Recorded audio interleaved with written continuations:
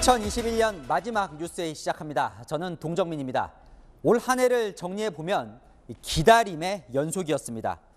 학교, 친구, 여행, 송년, 가족 모임까지 이 코로나로 멈춰버린 평범한 일상을 되찾으려고 참고 기다렸죠.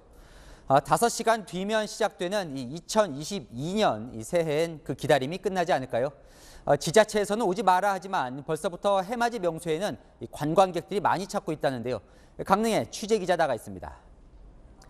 강경모 기자, 이 35만 대가 넘는 차가 이 동해안에 몰릴 것 같다고요.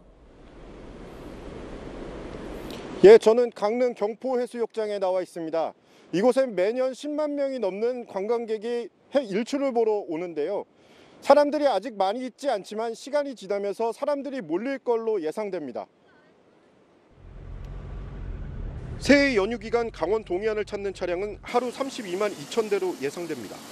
지난해 같은 기간보다 25% 넘게 늘어난 수치인데요. 특히 내일은 35만 6천 대가 몰릴 걸로 전망되고 있습니다.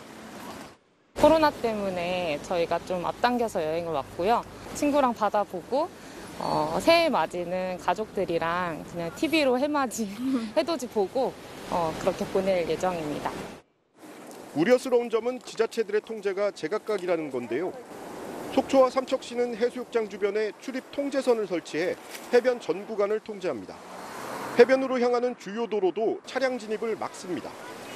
최근 코로나19 확산으로 인해서 시민 및 관광객의 안전을 사전 고려를 해서 저희들이 차단하기로 결정하였습니다.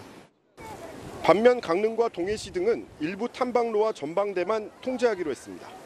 백사장을 개방하는 대신 직원들을 배치해 계도 활동을 벌이기로 했습니다. 사람들이 다그 통제선에 예, 입술을 부르고 다 붙어 서는 거예요. 오히려 통제선에 밀집하는 것보다는 백사장에 흩어져서 일출을 보는 게 더 효율적이다. 자칫 해변을 폐쇄하지 않는 지역으로 해맞이객이 몰리는 풍선 효과가 우려됩니다. 이 밖에 부산 해운대와 광안리 해수욕장, 포항 호미곶, 제주 성산 일출봉 등 유명 해맞이 명소도 통제됩니다. 국립공원공단도 오늘부터 내년 1월 2일까지 한라산과 설악산 등 전국 21개 국립공원 탐방로를 전면 통제합니다. 새해 일출 장면은 대부분 온라인으로 공개되니까 추운 날씨에 떨지 마시고 가족들과 집에서 즐기시면 어떨까요? 지금까지 강릉 경포 해수욕장에서 전해드렸습니다.